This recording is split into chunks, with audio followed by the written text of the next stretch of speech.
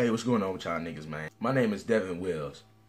And when I'm not putting military grade mace in the simple perfume bottles, I'm here getting these jokes for y'all. Wait a minute, that's that's that's not even my fucking joke. But I guess it goes into the theme of today's video. First of all, I hope y'all had a great Thanksgiving. Now, this video right here is something I'm kind of excited to get into because this is about Carlos Mencia. Now, anybody who knows about Carlos Mencia knows that in recent years he has gained a reputation for being a notorious joke thief. And um, today we're going to look at the timeline, the Carlos Mencia joke thief timeline. So I'm very interested in seeing this. Um, you know, and the crazy thing is, I like Carlos Mencia. I think he's to be honest, I think he's a funny dude. Like his delivery is amazing, even though the material it wasn't his. He's a funny dude to me. I actually enjoy his. I actually enjoy his comedy, even though you know, you know, I watch his comedy and I can tell that it's not really original. I still enjoy it. I, I know y'all can hate me for it, but I still find it funny. You know what I'm saying? So we're gonna check this out. I'm excited to get into this. Let's get it. Today, we're going to talk about the Carlos Mencia joke thief timeline, and if this All is right. something he can come back from. Welcome to that's another I, episode really of Catching You Up with. Not a, it's over die. I would like to thank the executive producer of this episode, Wolfsky Comedy. If you would like to show big baller support and become an executive producer of the show, you can click the Patreon link in the YouTube description below. And also, please take this time to subscribe, rate this video, comment on it, share with a friend. It all helps with the algorithm. So today we're going to be looking at a couple things, but mainly the Marc Maron interview with Carlos Mencia in 2010. I want to say that okay. that was the first time that Carlos had publicly addressed the joke thieving, but actually in a documentary called I Am Comic, Carlos had a couple minutes where he just kind of went off and owned the whole joke stealing thing. I saw that documentary. Are going to ask, why did they interview Carlos? I've seen this documentary many times. Carlos is a joke thief. Carlos steals jokes, and we know this. And I, listen to me and look at me when I tell you this with all honesty. If you think that I steal jokes, fuck yeah, you're right. Of course I fucking steal jokes. Are you out of your fucking mind? When I come to a comedy club, you better run, bitch. You better get the fuck off stage. Because if anything you say is even remotely funny, I'm gonna make it mine. And all I'm gonna do is say Mexican in the front. Fucking wild. Carlos Mencia went on WTF with hey, Mark man, he said it. in May of 2010. I feel like he was being sarcastic, but he still said it. Two back-to-back appearances. In the podcast, Mark starts off solo I like Mark and Maron. just kind of explains how Joe Rogan had called out Carlos Mencia for stealing one of Ari Shaffir's jokes as well as a couple other jokes. And not only that, but how this was a consistent pattern from Carlos. That happened at the world famous comedy, comedy store, store on the Sunset Strip and the release of that video changed Carlos Mencia's and Joe Rogan's careers forever. To say this video was culturally significant in the comedy world is an understatement. But for those of you that haven't seen it, back in the day, Brian Redban used to be Joe Rogan's videographer exclusively. Now, this video was either made from something okay. that Brian Redban recorded or footage that he found that was uploaded to the internet. But essentially, what he made out of that footage was a hit piece on Carlos Mencia, calling him out for stealing jokes, showing the similarities between Carlos's premises and some other comedians' premises, and Similar overall just too. really shitting on. The footage that was recorded was Carlos Mencia on stage at the comedy store being actively called out by an agitated Joe Rogan. He went up on stage and they just straight up had a yelling match at each other. And that video gets interspliced with a whole bunch of videos that demonstrate how Carlos could be perceived as a joke thief. Joe Rogan uploaded and released the video and was banned from the comedy store shortly thereafter. The store right. had a no filming rule that allegedly Joe Rogan had violated by uploading this video. At the time, Carlos Mencia okay. was a bigger draw than Joe Rogan. And by uploading this video, Joe had ruffled quite a few feathers. The comedy store had banned him, he was dropped by his agents at Gersh, to fast forward really quickly, it's nearly objective that Joe Rogan's return to the comedy store is what sparked the most recent golden era of the LA comedy scene. The banning signified comedy clubs siding with joke thieves that were okay with it as long as they sold tickets. And Joe's return signified the yeah. changing of the guard. But that's a video that we'll cover another time. Now, Let's rewind back to 2010 when Marc Maron was interviewing Carlos Mencia on WTF. Maron's solo intro on the podcast recounts Carlos stealing bits from Damn. George Lopez. Marc Maron look like a fucking witch now. Maron states that it's no secret how publicly hated Carlos Mencia is, and that it's also no secret to Carlos how much he's hated. And that that's kind of the starting point of what he was going to talk about with him. By the way, in the garage here at the Cat Ranch, Carlos Mencia, the infamous Carlos Mencia. Infamous. You've become kind of infamous. A guy literally sitting on his door, on the door, the passenger side, holding like a flip, pointing it at me, just yells out, "You fucking suck! You're the worst fucking piece of shit ever! Fuck you!" And I'm just like, really? Is that necessary, bro?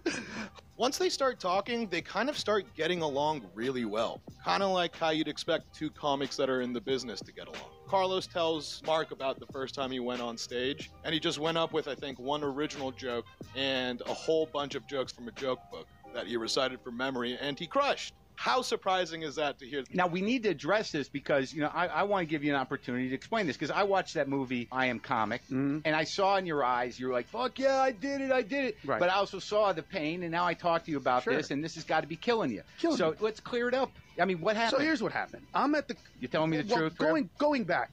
No, seriously, going back. He was a buddy of mine. Well I We're mean friends. w- w- let's talk we can talk right okay And, and, and I'll, I'll you set talk it about up. you so and Rogan and then we'll talk about the th- the stealing at the comedy store, I would hear, "Hey man, um, Eddie Griffin's pissed at you because uh, he said that you did a bit of his." I would walk up to him. He did he did do a bit of Eddie's. There was a bit that I do that you did, or Mooney. Hey Mooney, somebody said that you do this bit and I do this bit. This is what I do. What's your bit? Oh brother, it's cool. You know what I mean? So And the weird thing about the comedy store is everybody, you know, there's about nine or ten guys a night doing the same, roughly the same subject matter. correct. Mencia then shockingly defends his reason for why his joke was so similar to George Lopez's. I wrote a Taco Bell joke, Yeah. and it was the most obvious fucking joke of all time. It was when they created the enchilada, and it mm-hmm. was basically what did they get an enchilada to fuck a burrito? Yeah. It wrote itself. Yeah. It literally wrote Well, itself. that's a- that's actually probably That's fair. what they meant. So That's fair. I did a joke, and then George Lopez came up to me, and this was the biggest mistake of my career. Yeah. I can now say that that was ego driven, a lot of fear. But he came up to me and he's like, "That's my joke," and I was like, "Bro, it's it's a Taco Bell joke. You can't be a Latino and claim Taco Bell a- as your subject." That's and he fair. was like, "That's my joke." Now today, I would have looked at George and said, "You know what, bro? You've been doing it longer than I have. Out of respect, go ahead, keep the joke." Yeah. But I was a young comic. I didn't know that I was going to write anything funnier than that. You were going to fight for the enchilada. Fuck yeah, man! Uh-huh. That, that's a great joke. What are you yeah, talking? yeah. That that's the one that's gonna put me on HBO. Fuck you. You know what I mean? He also defends the overlap in thinking with the Ari joke that he was alleged to steal. So then that's when the joke about the fence, which like 15 of us did, you know, Yeah. the, the Mexicans Yeah, building yeah. the fence. Right. So then Ari Shaffir was like, "You took that joke from me." Because one time I opened for you, I'm like, but you've never opened for me. Oh no, no, one time I performed before you because you let me do a spot before you, and I did that joke. I'm like, do, do you think I was watching you? Kind of an interesting defense from an allegedly prolific joke. Mm, He claims okay. that the Bill Cosby joke that he was that caught don't ripping off right. was the nail in the coffin for him. when that came out, that brought real legitimacy to the argument. Fuck Whose things argument? up. Oh. To the argument of the people that say, look, you know what I mean? Right, Yeah, yeah. because with this other joke, 10 people did it. Yeah. It was almost like, The wall. Yeah, the wall. Everybody does it. But with that joke, it was like, oh, dude, you people refuse to believe that I didn't see the joke. What I say is, do I come off as that retarded? Do I come off as somebody dumb enough to take a joke from an iconic performance and think that nobody would see it after having a reputation for years of fucking thievery? I don't take jokes, but if I did, I'd take it from some fucking mook that nobody knows. I wouldn't do it from fucking Bill Cosby. He then went on to say, I mean, but at the same time, you still got the same fucking jokes as other famous comedians. So I'm thinking, man, they're getting along much better than I thought they would. And they start wrapping up the episode, and then it kind of cuts into an outerlude with Mark, where he just says, Look, man, fucking things were weird, man. I feel like he was trying to take advantage of me, man. That's a terrible Marc Maron impression, but Okay, so there you have that. After I sat with Carlos in the garage, I felt something felt wrong. I felt that I, I, somehow or another I was being used in a way, and it was it was disconcerting to me. So I had to do some more homework, and I talked to Al Madrigal. I talked to a few guys, you know, who who didn't. They, people aren't chiming in in in the way that like you know, fuck him or this or that. What I mm-hmm. got from people was like, yeah, you should do a little more research here. You know, this is a little bigger than you think it is. And for that, I have mm. to say that is very punk rock of Mark. In most cases, It's a little bigger than you think it is. I like how that sounds. some guest that you didn't really respect and it didn't go the way that you thought it would, you would more often than not just decide to scrap the episode or call them and be like, hey, you know, there's this, that, and the other happened, and I really think that we should re record something. But Mark was like, nah, I'm uploading this, and just so you know, the next episode I'm going to be talking to some comedians about Carlos, and then I'll have Carlos back on.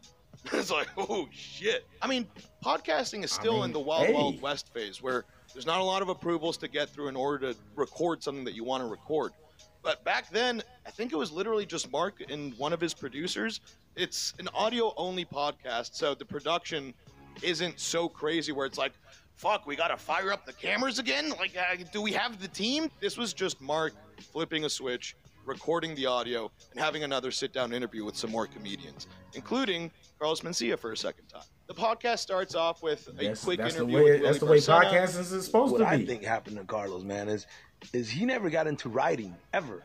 I used to go over his house and I used to say, "Hey, man, let's write," and then we wouldn't write. He was one of those guys that would love to s- sit in back of the comedy club and watch other comics. And like, I- what I think happens, man, is subconsciously you're gonna pick up material, man. Then he has a recorded segment with Latino comic Steve Trevino. I, my first week ever to headline, I get booked at the Ontario Improv, and I'm super stoked because it's like, man, real money now. You Yeah, know, you're getting yeah. paid, you know, that bump in pay, and, and this is the real deal. You know, Mencia shows up, and right before I go on stage, he goes, "Hey, I want to go up, do a few minutes," Uh, and I go, "Absolutely, right." I walk on stage and I go, "Ladies and gentlemen, I wouldn't be here if it wasn't for him." Ladies and gentlemen, Carlos Mencia. He walks on stage and does two hours. I never go up. And your name's on the marquee. And my name's on the marquee. It's my first week to headline. Then we get over Wow. to Carlos coming back onto the show. That's a I that's a didn't want to sandbag move. Mencia or you know take what he said and mash it up with other people's things. After I talked to uh, Willie Barcena and Steve Trevino, I was in the awkward position where I had to contact Carlos again to tell him we needed to do some follow up because I know things now that I didn't know then, and and I want you to answer to them specifically. So I texted Carlos basically saying, look, I got to do some follow up questions. Why don't we do it on the phone? Because I personally didn't want to have to do it face to face. I admit that. I was hoping we could do a phoner. But within minutes, Carlos said, uh, texted me back. He said, I just landed at LAX. I'll come from the airport. And what we get next is a way Oh, more shit, honest okay. exchange He said, between the said two. I'm coming they right are now. really getting into the nuts and bolts of these accusations. All right. Now, first off, I got a personal thing that I didn't bring right, up before, it, but it came it. up uh, you know numerous times, and I, I want to know what you know where you what you say about it. Now, one time I was doing the improv, I was headlining, Yeah. and you came and bumped me and did like 45, 50 minutes, Yes. and then I, I left because I was like, you know, fuck that, fuck, Fuck him. him. Right. Okay. Now I see that this is a pattern that you know you bump headliners and you do an hour to two hours. Yeah. Now, is this a territorial thing? Are you saying fuck you? This is you know I'm I'm the boss. Be honest. I'll be honest with you, man. It, it's my only way of d- dealing with how hateful. You know what I mean? So you're saying that you do it, you do it out of spite. Yeah, I felt like, especially guys Okay. like you who came from that Okay. different school. Uh huh. You know what I mean? Of You wanted comedy. to school me. Who came to not school you as much as like fuck you. I- Okay. I, am. I, my comedy isn't to be shit on. But I, I didn't personally shit on you. oh no, no, you never did. But you just had you were making an example. But dude, They discuss how these scenarios could have possibly happened unintentionally. so let me just ask something. Is there a chance that you absorb this shit and you don't know that you're you're doing similar things or doing people's bit? with openers, no. With headliners, possibly. I won't even No, name I- names. okay, you Okay, now that is a thing that can very possibly happen. That's actually happened to me before. You know, sometimes you hear another comedian's joke and you hear it and it goes into your head and you forget that somebody else said it and it comes back to you as an original idea and you think you thought of it. That happened to me before. It's called cryptomnesia. Right? There's a there's a video on it. They made a video about it. It's called cryptomnesia it's where you can accidentally take somebody's material and you forget that somebody else did it and you think you came up with it. Just like I remember one day I watched Sam Jay, right? She's a lesbian comedian. She's on Netflix. I watched her special. It was hilarious. Her special 3 a.m. is hilarious. And you know, I watched it. Um, forgot about some things. And a little while later, I got I decided I wanted to be a comedian myself. I started writing jokes. I came up with this joke about the word bitch, about how the word bitch is, is so versatile. It can be used as an adjective, it can be used as a noun, it can be used as a verb. You know what I'm saying? It can apply to men, women, anybody. The the word bitch and the punchline of the joke was bitch is universal. And so I go, I thought I just came up with a, and so in my mind, I just came up with a brilliant joke about the word bitch. And a little while later, I go back and watch Sam Jay's special, 3 a.m., and I was like, oh, she the one that said that bitch is universal part. I, I didn't come up with that. Damn. So, you know, it happens. It happens to the best of us. It happens to almost everybody. You accidentally absorb things, you know, but in this case, if it happens that many times, it's got to be intentional. If it, you know what I'm saying? Do I think that Carlos could have possibly accidentally stolen someone's material and forgot that he got it from somebody? Yeah, that's possible. But if it happens that many times, bruh, that many times, I don't know, man. Let's get back into You've it. denied the, the with the- young guys, Yeah. most of the time when they do a bit, Yeah. I Yeah. did the bit about the Cougars 15 years ago. So sometimes these guys have never seen that bit that I did in 1992 about, you know, having sex with a 40 year old woman. Carlos talks about some Paul Mooney premises that he might have stepped on. And the way that you know that this is a more authentic conversation than the first appearance that Carlos had is that both Mark and Carlos kind of go on a roller coaster of raising their voice and getting upset and emotional and then kind of coming back down. You know, there's like some of the guys said, like you know, if, if Carlos would just you know do his shit, he knows how to do shit. That you know, I, it seems that a lot of this stuff is hung up on shit that anybody could do. They can't necessarily do it like you, but a lot of this discussion is about shit that is just fucking topical comment. You know, I'm I don't even know why I'm getting angry angry in in in, in this conversation. Just that But it's really nice to see the human side of Marc Maron, to see the human side of Carlos Mencia, and seeing them just kind of talk about things like two grown men.